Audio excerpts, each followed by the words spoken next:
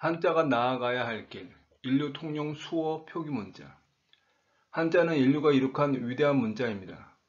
상형 문자에서 시작해서 단계를 거쳐 지금의 표 문자라는 지위에 올라섰습니다. 모든 문자는 상형에서 시작했는데 오로지 한자만 표 문자로 진화했고 살아남았다는 것은 대단한 것입니다. 다만 마지막 도전이라고 볼 수 있는 인공지능은 지금까지 맞닥뜨렸던 그 어떤 상대와도 비교할 수 없는 막강한 존재입니다. 초단위로 승패가 갈릴 정도로 빨리 움직이는 세상에서 중국 인민들은 정보를 습득하는데 가장 편한 모어가 가장 어려운 한자로 되어 있습니다. 당연히 14억 인구 중에서 뛰어난 사람들은 상관이 없지만 상당히 많은 이들이 2500에서 3500자에 달하는 필수 한자 만리장성을 넘지 못하고 인류 문화 발전에 기여도 하지 못하면서 오히려 천덕꾸러기가 되는 처지에 놓여 있습니다.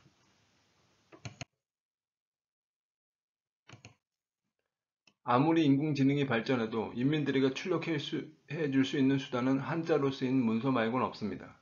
물론 음성 대화로 인공지능을 활용할 수도 있긴 하지만 짧은 건 될지 몰라도 긴 내용을 매번 듣는 건 현실성이 없는 게 사실입니다. 이런 까닭으로 한자가 아닌 한글로 문자 생활을 바꿔야 하는데 아무래도 글씨가 한글로 변하기 때문에 한자가 위축되는 것은 피할 수 없게 됩니다. 사람은 어렵고 번거로운 것보단 쉽고 간단한 것을 따르는 경향이 있습니다. 한자의 기원은 시작점을 어디에 두는지에 따라 달라지지만 적어도 3300년 전 이상은 되는 것으로 여겨지고 있는데 이걸 앞으로도 이어가려면 의미의 정확한 전달이란 본래 목적으로 되돌아가야 할 시점이 다가오고 있습니다. 바로 소리 없는 언어, 곧 수어를 표기하는 언어로 전환할 때입니다. 사람은 자연 발생적으로 신생아 1000명 중 두세 명은 청력에 문제가 있는 상태로 태어난다고 합니다. 게다가 고령자 인구가 늘어나면서 청각 장애인 규모가 늘어나고 있습니다. 중국에서 발행된 자료에 따르면 현재 14억 인구 중에서 2천만 명 정도가 청각 장애인이라고 합니다. 전 세계적으로 확대해 보면 수화를 통해서 서로 의사소통을 하는 인구는 7,200만 명에 이르는 것으로 알려져 있습니다. 한마디로 인류 전체 1% 정도가 수어 사용자라고 볼 수 있고 인구 규모로 따져보면 세계에서 30번째로 많이 쓰이다 보니 유엔에서 해마다 9월 23일을 세계 수어의 날로 지정하기도 했습니다. 다만 여기에서 수어라고 뭉뚱그려서 오해를 할 수가 있는데 수어라는 언어는 세계에 300개 정도가 존재하고 있습니다. 한마디로 각 나라별로 혹은 언어별로 수어가 다르다는 뜻입니다.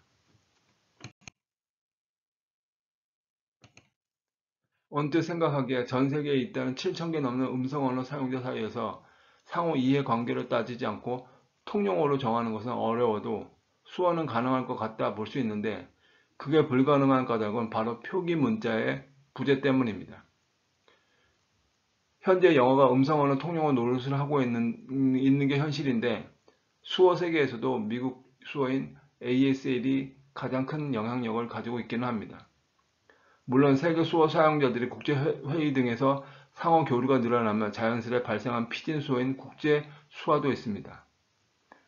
다만 ASL에 비해 쓰임새가 적은 게 현실입니다. 음성 언어와 똑같이 힘의 논리가 작동하는데 아무리 영어가 맹위를 떨친다 하더라도 수어 세계에서 통용어 주의를 확고하게 다지려면 뭐니 뭐니 해도 나름의 문자 체계를 갖춰야만 합니다.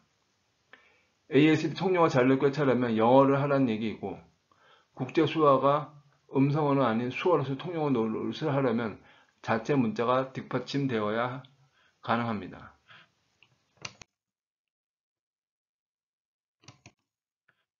위 그림은 다섯 가지 수형 표기 체계인데 모두 집을 가리키고 있습니다. 주로 ASL을 기반으로 하는 수어 문자 체계인데 수어를 할 때 손으로 표현하는 수형은 어떤 것은 그림을 그린 수준이고 조금 더 나아간 것은 이미 있는 글자를 부호 삼아서, 부호 삼아서 그대로 재현하는 정도입니다.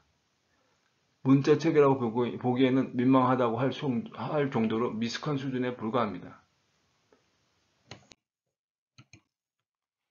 인류 통용 문자가 되면 전 세계 모든 지역의 인류가 통용 수어로 창작하는 각종 창작물을 담아내야 하는데 저는 빈약한 부호 체계로는 감당할 수가 없습니다. 이미 이런 시도 무수히도 많았는데 지금까지 주도적인 지위를 차지하는 게 없기 때문에 축적된 자료가 없다는 것이 가장 큰 문제입니다. 통용수어가 그저 일상 대화만 서로 주고받는 수단으로 그치지 않고 문화권을 뛰어넘어 인간이 공유하는 문화 원형을 담아내려면 나름의 언어 축적 자료들이 필요합니다. 이런 조건을 만족하는 문자 체계가 바로 한자입니다. 각골 문자부터 따진다 하더라도 3300년, 거기에 인구가 가장 많은 한자 문화권 기반으로 수많은 성현들이 갈고, 갈고 닦아놓은 문화체계가 이미 완성되어 있습니다. 다만 통용 수어를 기록하는 문헌은 구어를 반영한 백화문이 아니라 문헌문이라고 해서 오로지 서면어로 존재했던 문장체계고 참고하는 내용도 한자 문화권에 특화된 내용이 아닌 인류 문화 원형에 적합한 내용이 주류가 됩니다.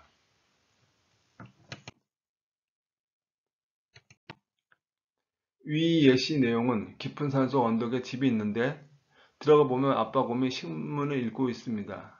인데 AS의 스트로크 네이션, 노테이션으로 적은 문장입니다. 나름 다른 표기법과 달리 알파벳과 기존 기호를 활용해서 접근성을 키웠지만 이걸 가지고 인류 통용 수어의 문자로 삼기에는 아쉬움이 큰 게 사실입니다. 이에 반해서 위에 한자로 적어 놓은 것은 어렸을 때 최초로 접하는 언어가 통용 수어이고 거기에 대해서 최초로 익히는 문자가 한자가 되어 흔히 말하는 물리가 터진 사람이라면 얼마든지 받아들일 수 있습니다. 한자가 모든 상형 문자와 같이 출발했지만 상형 문자와 같이 출발했지만 지금까지 유일하게 살아남은 것은 뭔가 있기 때문입니다. 한자 문화권에서는 유치원 과정에서 가장 먼저 가르치는 글자가 한글이 아니라 인류 통용 수어이고 동시에 수어 단어와 한자를 1대1 대응시켜 줍니다. 이때 중요한 것은 절대로 한자음을 알려주지 않는다는 것입니다. 특히 한자 문화권에서 한자를 가르치면 좋을 것이라고 볼 수 있지만 인류 통용 수어는 전 인류가 같이 쓰는 언어이기 때문에 특정 문화권에 얽매이면 보편성을 잃어버릴 수 있습니다. 이런 까닭으로 나중에 스스로 알게 되는 건 막을 수가 없겠지만 적어도 공통교육 과정에서 초등학교 과정까진 철저하게 몸으로만 익히고 깨쳐서 감정 표현에 중점을 두는 소리 없는 언어로 자리 잡게 만들어야 합니다. 통용수어의 문자는 한자로 쓰는 문장은 문헌문이 아니라 수문인데 이건 소리를 배제하고 오로지 필담으로만 의사소통합니다. 물론 통용수어가 시각장애인 인구에겐 장벽이 될 수도 있지만 인류 전체 차원에서 바라보면 통용음성 언어보단 통용수어가 훨씬 더 보편 타당합니다.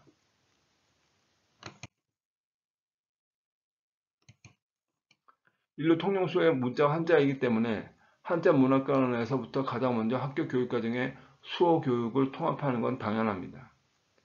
한자 문화권 내 국가인 중국, 일본 그리고 한국에선 공통으로 위에 나와 있듯이 유치원 누리 과정에서 통용 수어와 한자를 생애 최초 학습 대상으로 지정합니다. 한국어와 일본어 화합, 화합 언어인 한어는 초등 과정에서 시작하고 그 이전 유치원 과정에서는 각 지역별 방언, 나말이 혹은 사투리에 노출시킵니다. 한자 문화권에서는 양립, 양층 언어 생활을 지향하기 때문에 위 도에서 보이듯이 지역 사투리와 문화권 통용 음성 언어 그리고 인류 통용 수어를 모두 포함합니다.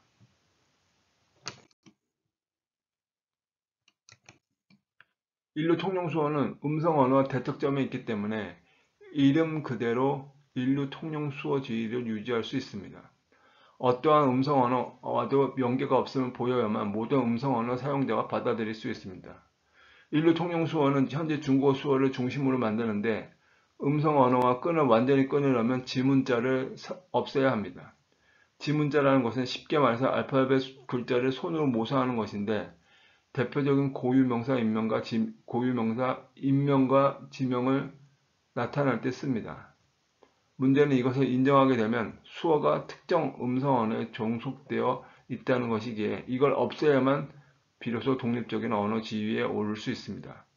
일로 통용수어는 중국 수어에서 병을 이용해 만든 것도 없애버리고 오로지 수형과 한자 모양을 모사한 것으로만 이루어진 완벽히 음성 언어와 이어진 끈을 다 끊어버린 순수한 비음성 언어입니다.